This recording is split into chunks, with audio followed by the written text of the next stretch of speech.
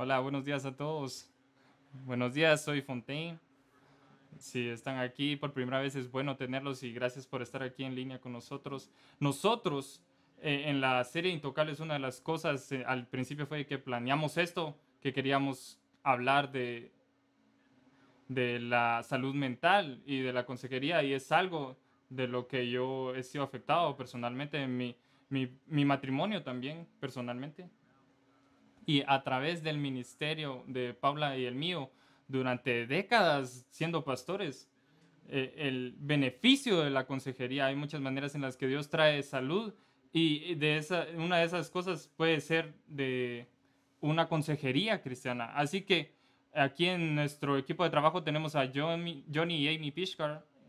Johnny eh, casi 17 años, eh, ha estado en una iglesia en Missouri y ellos tienen una historia, una historia que ha sido beneficiada por la consejería y eso es lo que traen a Guatemala. Vinieron a Guatemala hace un año y medio y establecieron eh, una, un ministerio que es para consejería y en Access Church ellos eh, trajeron esto.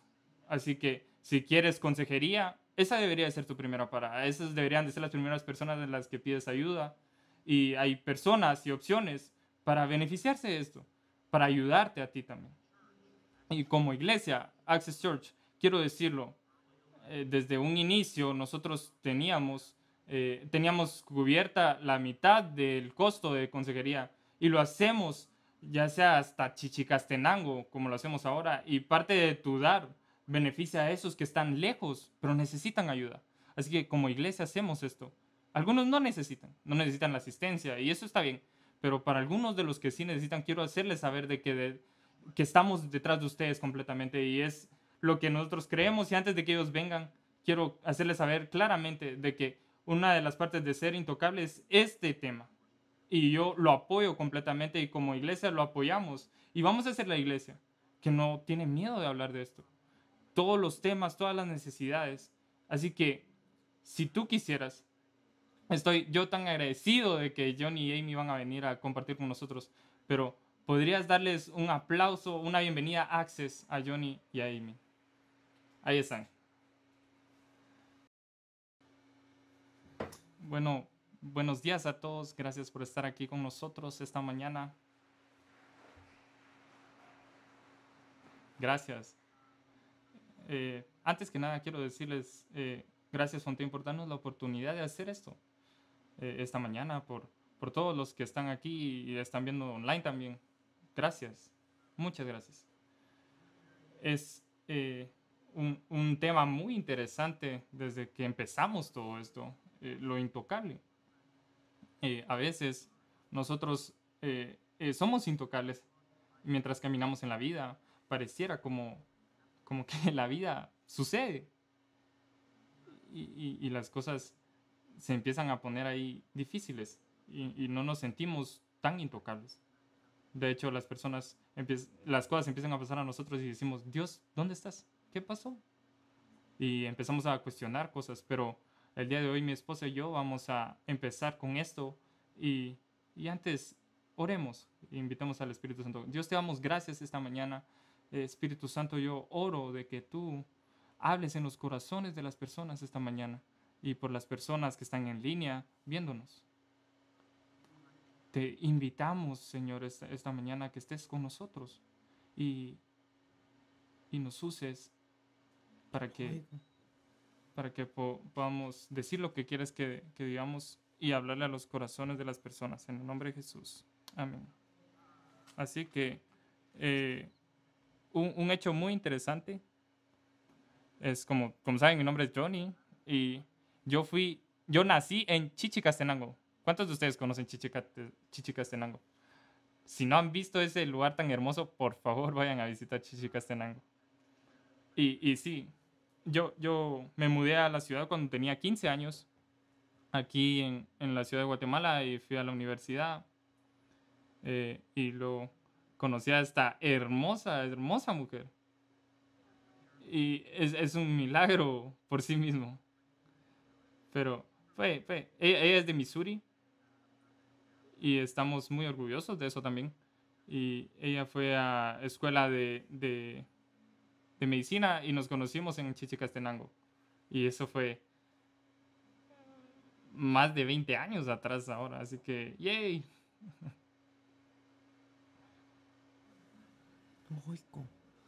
¿Pueden ver eso? Así que no hemos cambiado mucho desde antes, desde ese entonces. Desde que nos conocimos, siempre quisimos trabajar aquí y ministrar a personas en Chichicastenango y en Guatemala. Eso era lo que estábamos buscando. Y luego nos mudamos a los Estados Unidos. ¿Y cuántos de ustedes están felices de que los planes de Dios son mejores que nuestros planes? Porque nosotros creemos de que tenemos la idea de a dónde queremos ir y tenemos todo planeado. Y luego todo empieza a cambiar. Y démosle gloria a Dios porque eh, funciona para nuestro bien. Así que nos mudamos a los Estados Unidos y nos mudamos y tuvimos un ministerio por casi 14 años y medio en una iglesia en Missouri. Y, y, trabajamos como ministerio y esto va a ser nuestro, 19, nuestro año 19 de matrimonio. Estamos tan orgullosos por eso. Y gracias a Dios estamos juntos todavía. Hemos, lo hemos logrado tan lejos. Hemos llegado tan lejos. Pero eh, sí, sí nos costó por muchos años desde que, desde que nos casamos y a veces no sabíamos porque teníamos muchas cosas pasando con nosotros y cosas que teníamos que trabajar en nosotros. Pero es algo que era muy real para nosotros y teníamos que trabajar en ello. Y gracias a Dios que pudimos hacerlo. Y Dios estuvo con nosotros todo este tiempo. Anda a decirle a Nathan que no escuchas. Eh, también quería añadir a esto de que no, no sé si, si tuvimos cosas que pasaron a nosotros más de, del promedio, pero realmente nos costó. Y siempre culpé a, las diferencias entre culturas o que él es un hombre, yo soy mujer, y vamos a ver las cosas de diferente manera. Así que en mi mente, eh, los desafíos y la comunicación que teníamos, y teníamos esto, estas ventanas de, de tiempo en el que sentíamos, que nos sentíamos felices por un momento y nos amábamos, pero no teníamos esto. No, no, no ponía, por, por 17 años, siempre me pregunté, ¿por qué, por qué siempre estamos chocando? ¿Por qué eh, siempre estamos eh, peleando entre nosotros? ¿Por qué no simplemente podemos, no, no sabía ni qué podía hacer?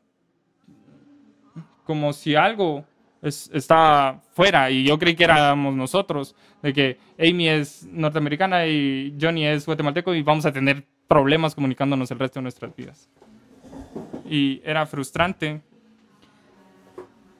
Encima de todo, la vida continuaba y trabajábamos con otras personas quienes tenían sus propios asuntos y teníamos que trabajar juntos y teníamos muchas cosas por superar y sobre este tiempo y sobre los años también teníamos frustraciones y situaciones que no parecía ser que estaba mejor para mí. No podía eh, ordenar todo. Así que eh, en marzo o en abril en el 2018, Amy eh, empezó a buscar por consejería. y ustedes tienen que entender que cuando ella me contó esto, Primero yo le pregunté que si era, estaba bien con él para que yo empezara a buscar una consejería. Eres mi esposo y quiero que seas, estés conmigo, que estemos unidos y que lo hagamos correctamente. Ah, entonces yo le pregunté. Sí, e, e, ella lo hizo y yo, yo estaba como, y él dijo, claro, mi amor, puedes hacer lo que tú quieras hacer. Así fue. Así que yo estaba como, ¿qué estás hablando? Eh, yo soy el hombre del hogar. Yo soy la cabeza de esta, de este, de esta hogar. Y Amy me dio este honor y, yo debería ser tu consejero. ¿De qué estás hablando? Yo, eh, tú, tú deberías hablar conmigo y lo vamos a resolver.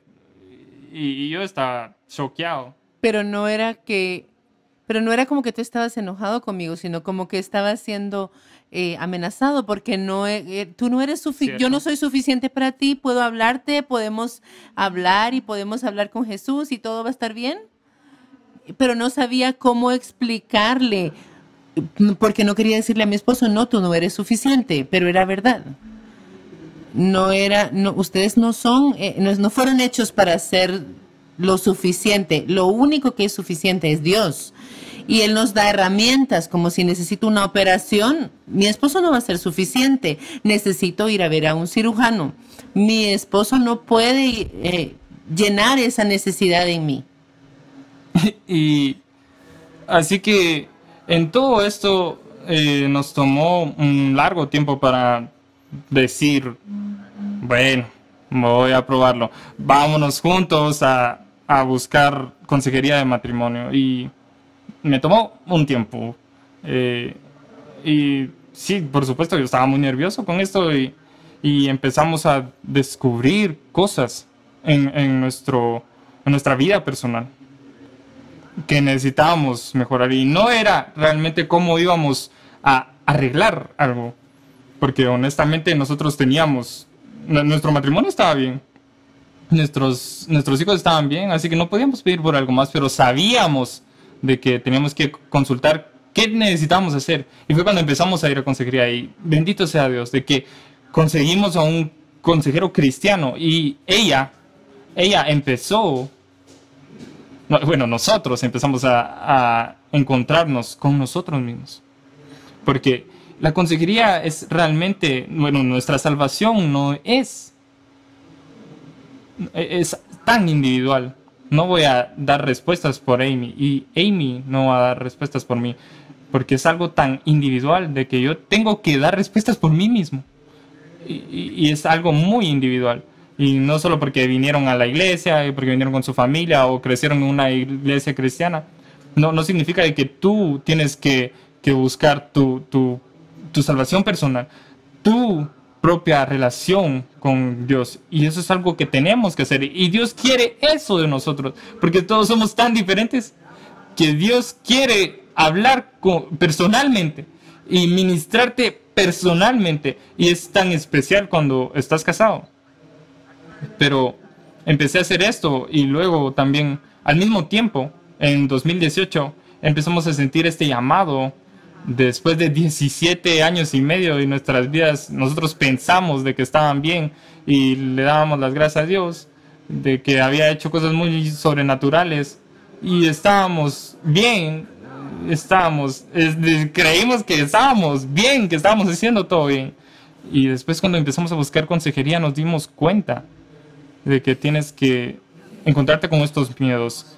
Y luego este llamado de venir a Guatemala. Y fue ahí cuando yo personalmente cuando cuando yo me tenía que encontrar conmigo mismo. Y yo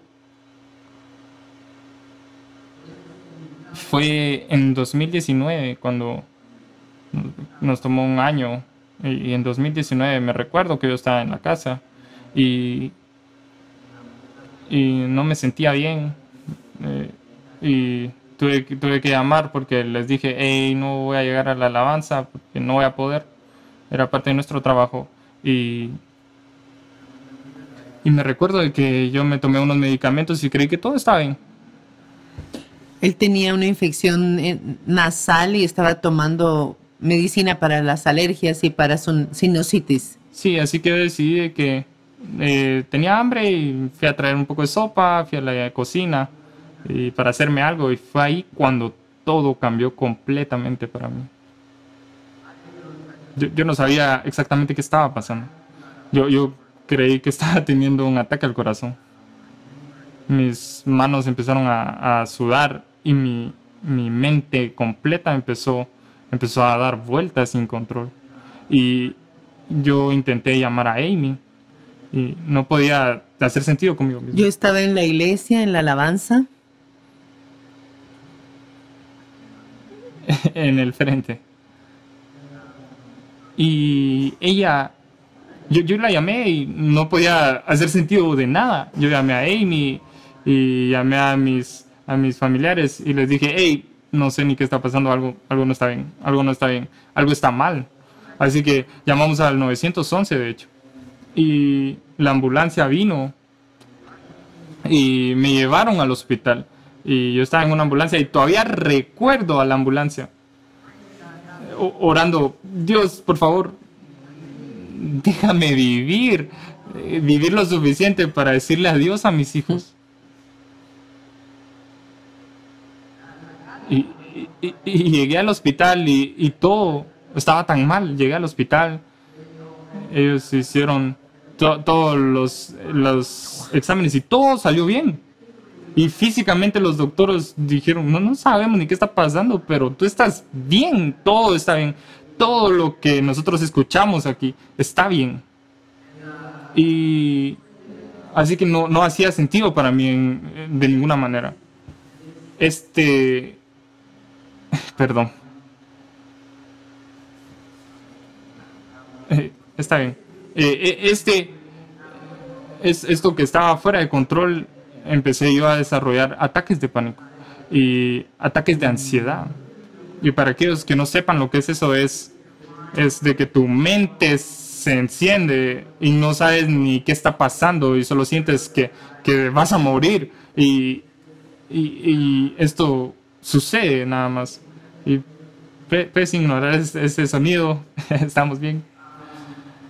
Pero yo, yo pensé de que Dios, no sé ni qué está pasando y, y decir, yo, yo hice todo lo que sabía, yo crecí en la iglesia y yo aprendí, sabía de, la entrada y oraba muy, muy, muy, muy duro.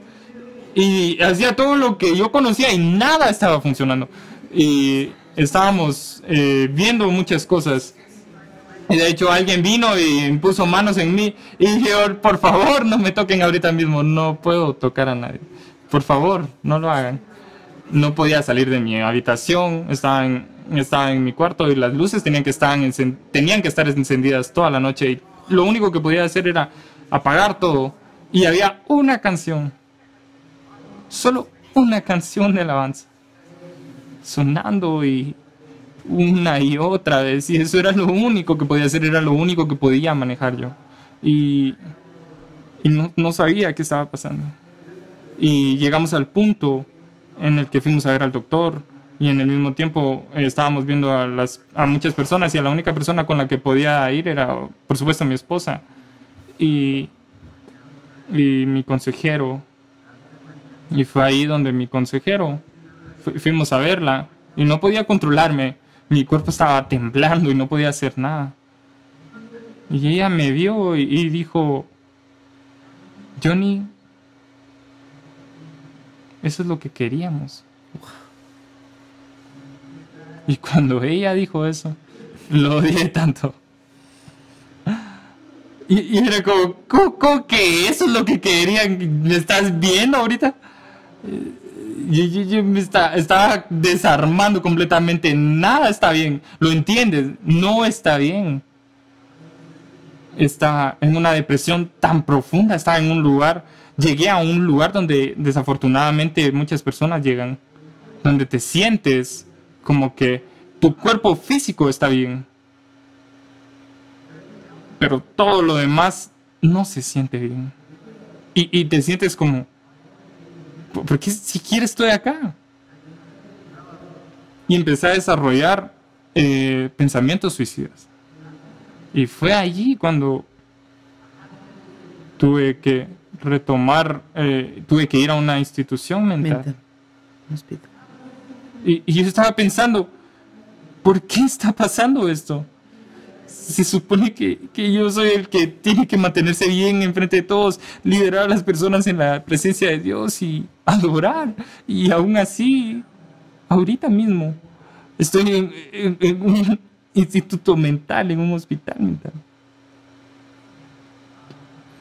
Eh, eh, hicieron todos los exámenes y todos los laboratorios y tenemos e, esa imagen de un iceberg no sabía ni qué estaba pasando, así que finalmente fuimos a ver a un profesional y el profesional solo vio mi toda mi historia completa.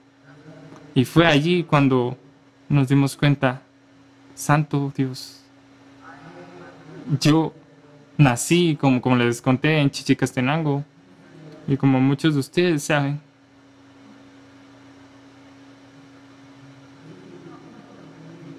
había un conflicto que vivimos aquí por, por muchos años, más de 30 años. Y, y no me había dado cuenta, pero lo viví. Vi a muchas personas morir, muchas personas, muchas cosas que pasaron. Y al final yo, yo fui diagnosticado con estrés, un desorden de estrés postraumático, que se activó por, por cosas con las que yo estaba lidiando en ese momento. Vamos al versículo que, que yo les tengo, y si lo pueden poner ahí, por favor. Es en Mateo 6, 22 y 23.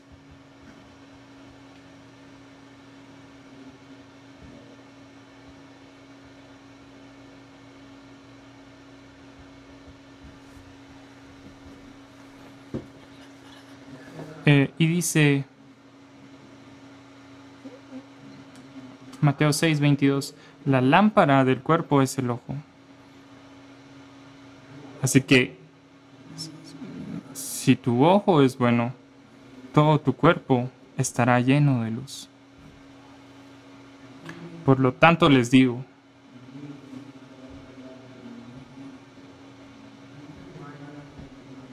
Eh, ni con más cubrirán su cuerpo. ¿Acaso no vale más la vida que el alimento y el cuerpo más que el vestido? Nuestros ojos, lo que miramos, imágenes que, que nos presentan a nosotros y miramos a través de nuestra vida. Esas son las ventanas que dan a nuestra alma. ¿Dónde estás viendo? ¿Qué estás viendo? ¿Qué haces cuando estás solo? Tenemos que encontrarnos con muchas cosas y una de las cosas que, no hacía sentido para nosotros era que en ese punto de nuestras vidas, nuestro matrimonio iba probablemente en uno de los lugares más oscuros de los que hemos estado. Y ni siquiera sabíamos qué iba a pasar. Pero ¿saben qué? A veces le preguntamos a Dios, Dios, ¿qué estás haciendo? ¿Nos estás enviando de vuelta a Guatemala? Y Él solo dijo de alguna manera, ¿y cuál es tu punto, John? Porque Dios es Dios y Él no va a cambiar. Y aún en nuestro quebrantamiento, nuestra dureza, en nuestros momentos tan oscuros que vivimos. Él aún está ahí. Y de hecho, Él usa esto para su gloria. A veces nosotros pensamos, eh, tenemos que vivir esta vida perfecta y no podemos. No podemos. Y, si estás aquí esta mañana y sientes la presión que a veces ponemos, especialmente cuando venimos a la iglesia y tratamos de ser buenos, de seguir lo que Dios nos está mandando a hacer, especialmente cuando fallamos y nos sentimos quebrados en esas partes de nuestras vidas y Dios aún así está diciendo, todavía te quiero usar a ti. Y como les dije, de hecho, el dolor que estás sintiendo ahorita mismo, yo quiero usar ese dolor. Yo quiero usar ese dolor. Y, tan, tan, aunque parezca tan, con tanto miedo, a veces solo hay que decir, de inclinarnos ante Él. ¿Cuántos de nosotros harían esto? Eh, eh, han, a veces agarrado un... un rosal. Un rosal y... Con espinas. Y apretarlo. Ustedes no hacen eso. Y eso era exactamente lo que teníamos que hacer. Teníamos que inclinarnos ante ese dolor. Teníamos que inclinarnos ante ese dolor. Y, y yo solo fui recordado ahorita mismo de cómo, si no han leído esto, Jesús antes de que fuera a la cruz, él experimentó probablemente el, la peor, el peor ataque de ansiedad que cualquiera puede tener. Él era humano. Y él incluso estaba sintiendo esas cosas, la, la depresión, ansiedad. Él estaba sintiendo estas cosas. Y, y, es aquí donde yo me emociono, porque aún cuando él sabía que iba a eh, atravesar esto, él, todavía hizo la decisión. No es, no, es mi, no es mi voluntad, pero que tu voluntad sea hecha. Porque, y él fue a la cruz y experimentó todo este dolor toda esa ansiedad, toda esa depresión, todas esas cosas, porque él sabía de que iba a haber un tercer día donde él se iba a levantar de esto, porque él sabía de que iban a haber personas como nosotros, seres humanos, de que estamos caminando en esta vida con dolor, con estas situaciones y cosas que pasan ante nosotros. Y, van a pasar, y Jesús dice, miren, una de las promesas que, que tal vez ni siquiera queremos leer en la Biblia es, hey chicos, yo les voy a prometer algo, de que en este mundo las cosas van a pasar ante ustedes. Y estas cosas, no, no, no dice cosas buenas, dice cosas, cosas van a pasar ante ustedes. Pero motívense, porque yo voy a estar con ustedes. Dios va a estar contigo. Él siempre va a estar contigo. Yo pienso que es fácil algunas veces cuando escuchamos hablar a las personas o contar sus historias. En el caso de Johnny, él creció en el medio de una guerra, un, un conflicto interno aquí en Guatemala. ¿Pueden poner otra vez la foto del iceberg de regreso? en 17 años porque yo solo podía poner mi dedo y pensar, ¿por qué no podemos hacer un clic si yo lo amo? Él es lo mejor. Pero algunas veces cuando no teníamos 30 minutos, sí, yo sabía que Dios me había traído a él y él, me había, y él lo había traído a mí, pero por 17 años estaba viviendo en, el, en la parte superior del iceberg. Es donde yo creía que estaba, donde yo veía que estaba pero realmente yo estaba viviendo en la parte inferior del iceberg. Yo estaba en mi propio bote, en la superficie de mi vida, en el agua, él estaba en su bote, en la superficie también, y eso era lo que él veía. Pero esto era lo que estaba realmente sucediendo. Y nosotros no teníamos ni una idea. Pero, ay Dios, cuando nos encontramos, cuando nos dimos cuenta de eso, cuando lo hablamos y lo hablamos con el terapista y, antes de que él estuviera en la, en la, en la reunión y él, ella se diera cuenta de que él tenía este desorden postraumático por, y él empezó solamente a llorar. Y, él, y, yo pensé, este es mi esposo. Y en ese, en ese momento de dolor y pensando, oh Dios mío, la vida, la vida del Espíritu Santo se estaba mostrando en mi matrimonio. Yo estaba entendiendo razones y veía su dolor y entendí su dolor y entendí la forma en la que se comportaba.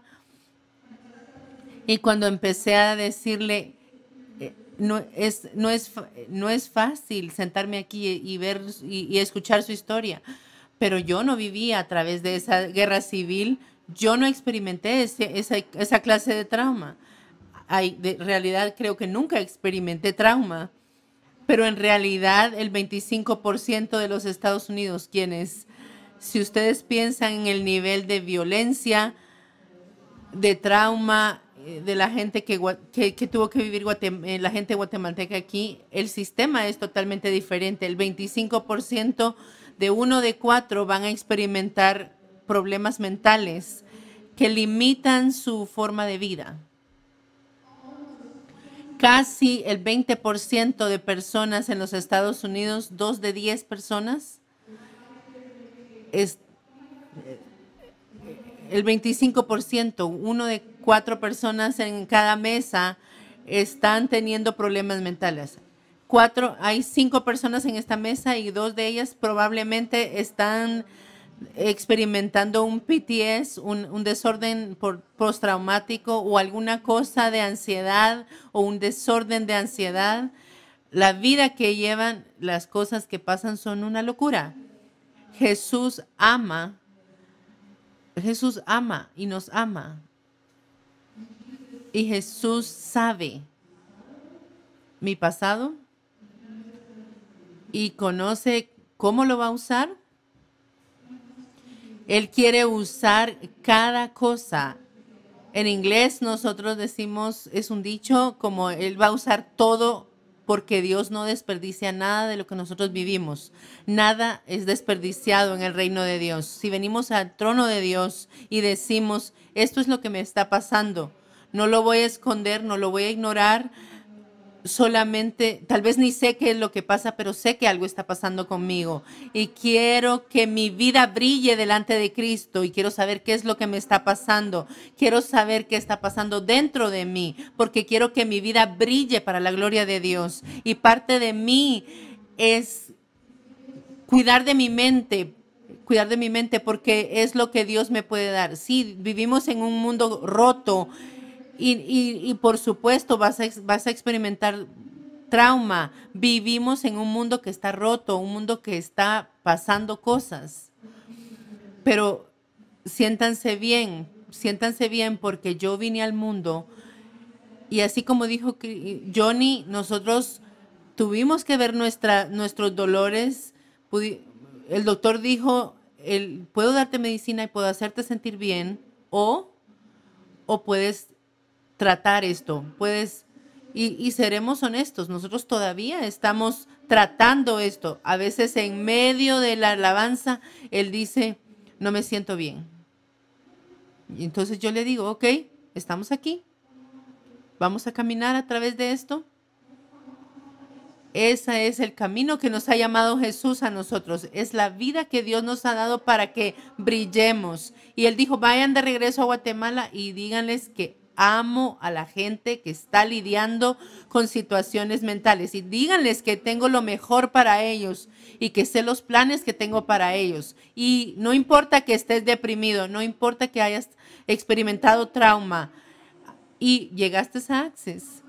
Y Fontaine dice, alamos ayudar a la gente que tiene problemas mentales porque la verdad es que todo el mundo tiene problemas mentales, no importa si son buenos o buenos, pero todos tenemos problemas mentales. Es solamente cómo está tu salud mental, cómo está tu, tu situación emocional es que lo quieres trabajar o quieres que no trabajar en eso y cerrar la puerta de tu casa y que nadie se dé cuenta. Así que estamos aquí para compartir nuestra historia, pero también para compartir el mensaje de Cristo, que Cristo es la esperanza y que Dios está para la para tu situación mental. Y estamos aquí especialmente para la gente que no tiene una buena situación mental y si usted tiene problemas, estamos aquí para ustedes. Si usted quiere consejería, Estamos trabajando para tener licencias, pero ya tenemos personas que tienen licencia. Depende de lo que tú necesites, nosotros tenemos personas y herramientas que pueden ayudarte. Estamos aquí para ti. Access está para ti. Muchas gracias.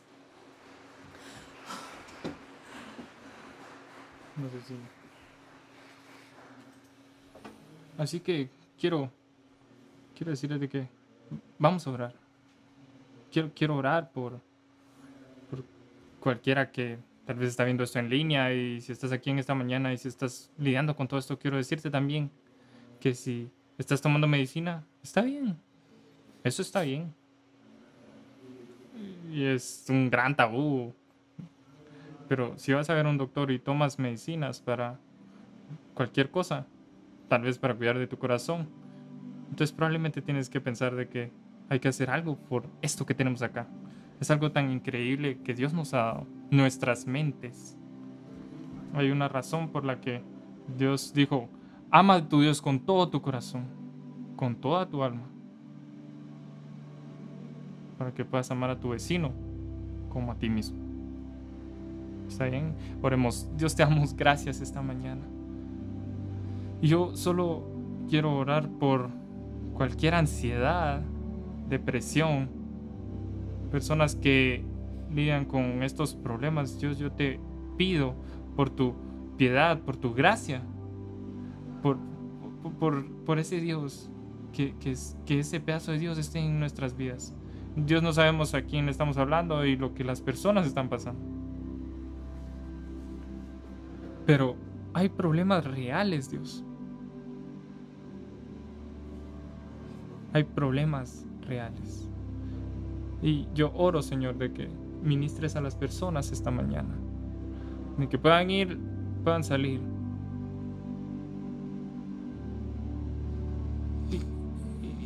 Y, tú puedes unirte a mí en oración. Si tú estás pensando ahorita mismo de que tu vida no tiene valor,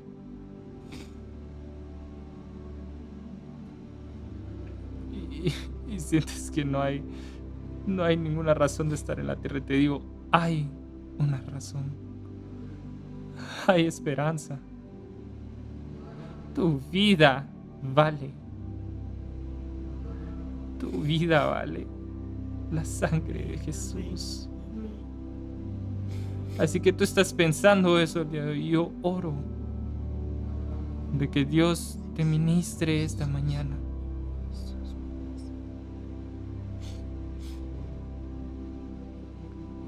Y, la esperanza que Dios trae, que Jesús trae a nuestras vidas. Que te ministre el día de hoy. Así que nosotros estamos aquí orando por todas esas personas que están pasando por depresión esta mañana.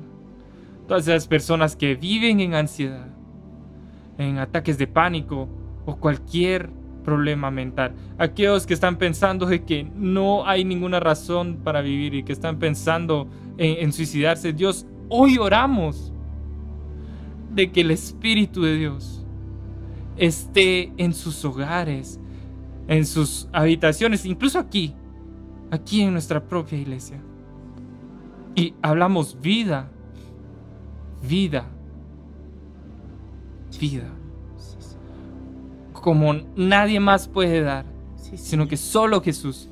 Y te agradecemos por esto, Dios. No te rindas. Solo intenta de nuevo. Ponte de pie. Y hazlo de nuevo. Gracias, Dios. Amén.